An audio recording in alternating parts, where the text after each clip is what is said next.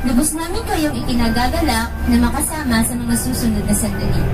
Ito ay biyaheng Pangasinan Solid North Transit 108, walang tigil na paglalakbay, mula Pitex patungong Bagyo na pinangangunahan ng ating tagapagmaneho na si Ginoong Dit Lopez.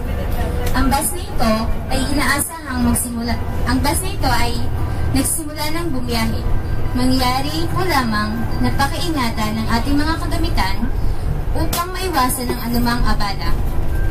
Ang biyahe na ito ay inaasahang tat tatagal ng 5 hanggang 6 na oras depende sa lagay ng trapiko at kung walang anumang posibleng maging sanhi ng ating pag-aantala.